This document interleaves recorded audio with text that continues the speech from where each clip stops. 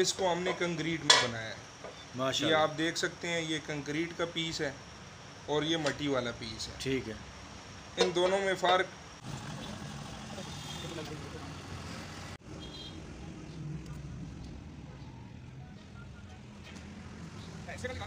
बसमीम अस्सलाम नासिर भाई ये मैं जाली देख रहा हूँ। ये कौन सी जाली है? मतलब डिफरेंट कोई यूनिक कलर की लग रही है? और उसके अलावा कोई अलहदा कोई इस तरह का मॉडल लग रहा है? ये क्या चीज़ है?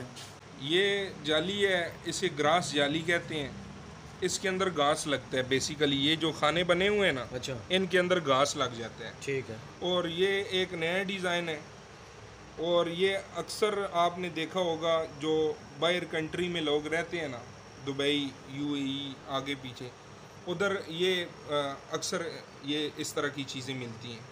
और ये ग्रास इसके अंदर लगता है और बहुत प्यारी चीज़ है। अच्छा नासिर भाई ये मतलब इसकी मोटाई थिकनेस क्या है माशाल्लाह? ये सर पचास एम एम है। ठीक है। और बहुत ही मज़बूत चीज़ है। ये आप देख सकते हैं। ये केमिकल मटेरियल में बना हुआ है। ये भी केमिकल में है? जी। इसमें आप जो भी कलर बोलेंगे वो वो भी तैयार कर हाँ देंगे। वो बन जाएगा। और बहुत ही प्यारी चीज़ है। अच्छा इसका मैं पूछना चाहता हूँ कि एक पीस का हिसाब ये फुट बाई फुट होता है क्या इसका साइज़ ये फुट बाई फुट नहीं होता ये फुट से ऊपर होता है। ये आप अपने नाजरीन को दिखा सकते हैं। ये तकरीबन साढ़े पंद्रह इंच बन रही है। जी ठीक है। जी। और इसका यानी कि पीस का क्या रेट है? इस पीस का रेट है पाँच सौ पचास रुपये का एक पीस है। पर पीस पाँच सौ पचास रुपये साढ़े पाँच सौ रुपये का। जी। ठीक अगर इसमें आप आम मटेरियल में बनवाना चाहें बगैर कलर के तो ये इस पीस की प्राइस फिर कम हो जाएगी। ज़ाहिर है जितना गुड़ डालेंगे उतना मीठा हो गया जी ना। जी। और चीज़ अच्छी है तो ज़ाहिर है उसके दाम भी ज़्यादा होंगे। जी जी। तो अगर चीज़ नॉर्मल है तो उसी हिसाब से वो सस्ता उसी होगा। हिसाब से होगा। जी। एक इसमें प्रेस वाला पीस भी आता है ना अच्छा। वो पीस सस्ता है वो तकरीबन डेढ़ सौ रुपये का एक पीस पड़ता है। यानी उसमें कोई मजबूती नहीं है? उसमें मजबूती उसकी नहीं वारंटी कोई नहीं है। और उसके ऊपर भी काई आती है। अच्छा।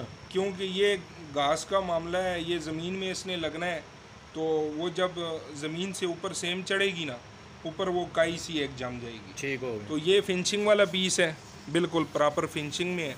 इसके अंदर काई वगैरह का चक्कर नहीं है। यानी कि ये बहुत ही ब्यूटीफुल मतलब बहुत ही खूबसूरत लग रहा है। जी जी बहुत ही प्यारी चीज़। अच्छा नासिर भाई जो खपरेल के बारे में हमने पहले भी वीडियो माशाल्लाह तफसील से बनाई है तो मैं दोबारा अपने नाजरन को दिखाना चाहता हूँ खपरेल जो आप अलग किस्म की तैयार कर रहे हैं फैंसी किस्म की और केमिकल वाली। तो इसके बारे में ज़रा फिर ज़रा तफसील से मेरे नाजरन को बताते हैं ताकि वो उसको जो है ना एक क्लियर हो जाएगा कि माशाल्लाह ये कौन सा मटेरियल और कौन कौन सा मटेरियल से तैयार कर रहे हैं केमिकल से या नॉर्मल? सर जी ये एक आम खपरेल है मट्टी की बनी हुई है। जी। हमने यही खपरेल इतने ही साइज़ में दस इंच का ये पीस है। इसको हमने कंक्रीट में बनाया है? ये आप देख सकते हैं ये कंक्रीट का पीस है और ये मट्टी वाला पीस है। ठीक है। इन दोनों में फ़र्क ये है कि वो मट्टी से बना हुआ है ये कंक्रीट से बना कंक्रीट से बना है, पुख्ता और जी ये मट्टी वाला पीस को आप अपने नाजरीन को जूम करके अगर दिखाएँ तो ये देखें इसके ऊपर दर, दराड़ पड़ गई है। जी। ये बिल्कुल नया पीस है इस्तेमाल नहीं हुआ। तो अभी से इसका ये हाल है कि ये अंदर से दराड़ पड़ी हुई है। तो अगर ये जिधर भी इसने लगना होता तो जहरी बात है कुछ अर्से बाद ये टूट जाता। सही। इसके अंदर ये इस तरह का कोई मसला नहीं होता है। ये प्रॉपर कंक्रीट के साथ बना हुआ है। माशाल्लाह। और एक एक की रेशो में बना हुआ है। और बहुत ही बेहतरीन और आला चीज़ है। ये सादा पीस है इसके ऊपर कलर नहीं हुआ हुआ। अच्छा। इसके साथ यानी कि इस पे कलर अगर करना चाहें आप तो अपनी मर्ज़ी से कलर कर सकते हैं। जी ये ये वाला पीस है इसको हमने कलर दिया है। और ऊपर शाइन भी की है। ठीक है। जी। और ये बहुत ही प्यारी चीज़ है। हमने खुद इसको बनाया है के टी एस का ऊपर लोगो भी लगा हुआ है। इसमें काफ़ी सारे कलर हैं हमारे पास। अच्छा। जी इसमें ये एक डार्क कलर है और साथ ही ये आप अपने नाजरीन को दिखाएँ ये लाइट कलर है। ये लाइट डार्क। जी। ठीक हो गया। ये लाइट कलर है ये भी कंक्रीट में बना हुआ है। माशाल्लाह। और बहुत ही ज़बरदस्त चीज़ है। माशाल्लाह जी बहुत जी। अच्छी चीज़ है जी। ये ऐसे चमक रहा है जैसे आप ऊपर देख सकते हैं इसकी फिनिशिंग चेक कर बहुत ही प्यारी फिनिशिंग है इसके ऊपर ना तो कोई काई आएगी ना इसको कलर की ज़रूरत है। ठीक है। और ना ये टूटने फूटने का कोई चक्कर होगा। सही है। जी। तो अच्छा तो तफसील से आपने हमें खपराल के बारे में माशाल्लाह बहुत अच्छी इन्फॉर्मेशन दी है। तो दोबारा मेरे नाजरन को ये बता दें ये एक पीस पर पीस कितने का ये? ये नाइन्टी फाइव रुपीज़ का एक पीस है सर जी ठीक है। पचानवे रुपये का एक पीस है। और ये जो पीस है ये सादे वाला। ठीक है। ये सिक्सटी फाइव रुपीज़ का ये सिक्सटी फाइव का जी। अच्छा तो जो मट्टी वाला बना हुआ है वो कितने का ये सर ये वाला जो पीस है ना मट्टी वाला जी।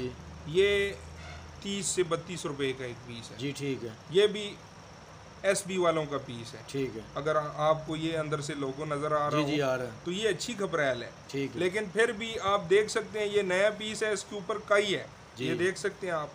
सही। ये बैर पड़ा हुआ था सावन के महीने में इसके ऊपर सिर्फ़ बारिश हुई है तो ये ऊपर आप देख सकते हैं कई आना शुरू हो गई है। ठीक है। तो ये वाले जो पीस है ना इनके अंदर ये चक्कर ही नहीं है क्योंकि ये कंक्रीट में बना हुआ है कंक्रीट के अंदर काई नहीं आती। सही। और दूसरा आप इसकी फिनिशिंग से अंदाज़ा लगा सकते हैं कि इसके ऊपर ना तो धूड़ कोई आएगी धूड़ मट्टी भी नहीं आएगी। सही। बारिश होगी तो ऊपर से अगर धुल जाएगी। हाँ धुल जाएगी। और ये जो पीस है इसको कलर करवाने की भी ज़रूरत ज़रूरत नहीं है। जी। यानी कि जो आपका डबल खर्चा पड़ता है उससे भी आपको जो है ना रियात है। जी जी वो भी खर्चा आपका बच जाएगा जी। वाह जी वाह। बनाई हुई है विरास जाली। उसी के बारे में नासर भाई ने बहुत ही अच्छी इन्फॉर्मेशन दी है। ये आउट कंट्री में ज़्यादा इस्तेमाल की जाती है जो विरास जाली है। तो इसी के साथ सहावत अली को दीजिए इजाज़त। एक नेक्स्ट वीडियो तक के लिए तब तक के लिए अल्लाह हाफिज़।